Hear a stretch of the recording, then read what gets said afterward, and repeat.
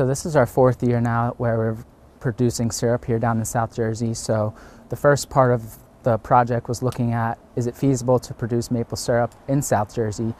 The main differences being our climate's a lot different than your typical maple syrup producing regions. Uh, we have a very, we have nearly no slope down here in South Jersey and our maple species is also the red maple species as opposed to the sugar maple species up in Vermont and Canada. Uh, our goal is ultimately to create a model that we can bring to people in South Jersey and say, if you want to produce maple syrup in South Jersey, here's the way that you do it, and we can give them all the supplies and training that they'll need to do it and teach them every step they'll need to know along the way. Yeah. Wayne, if you need photos, I think that might be maple too. No, we, we, have, we have to use our own. This is definitely Yeah, maple. wasn't I think this might be ash. then they license them and Got they sell That's them. just Yeah, like yeah, it's like, chunk. like. Actually, this is That's a nice size. that's um oak, I think. Of course, maple syrup. And South Jersey is even a harder sell.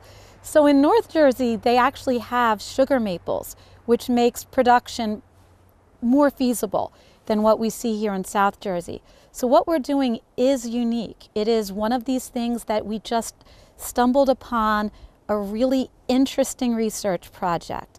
And what we're finding is that with the newer technologies, with um, the passion for, for making this happen, we're not just successful, we are in, in producing, we're also bringing a whole new culture to South Jersey. We have people who have never tasted pure maple syrup coming to our events. People who didn't know you get maple syrup from maple trees.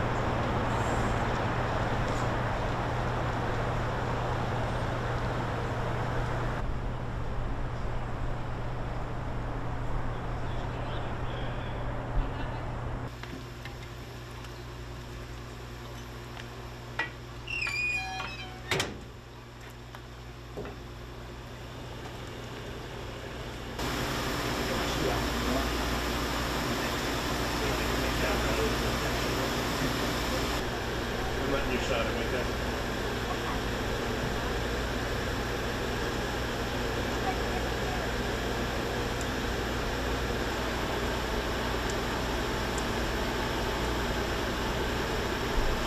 Yes, I think uh, we get a darker syrup down here in South Jersey, and I think it has a more maple flavor to it.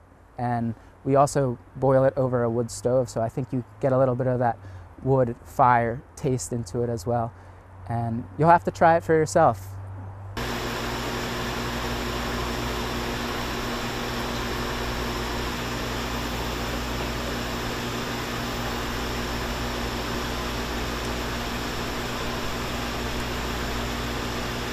We are already making, making connections with um, local high schools with culinary art programs, and they're developing recipes. Stockton's Food Service is working with us to develop recipes for things like salad dressing and barbecue sauce. Um, adding value to a product by inc- in, you know, including this little bit of syrup and yet creating something really special out of it. And so we feel like if we're able to pivot just a little bit where we are selling our syrup, but also providing sort of a value added um, product, that we really will be able to keep this going and make this a, a Stockton niche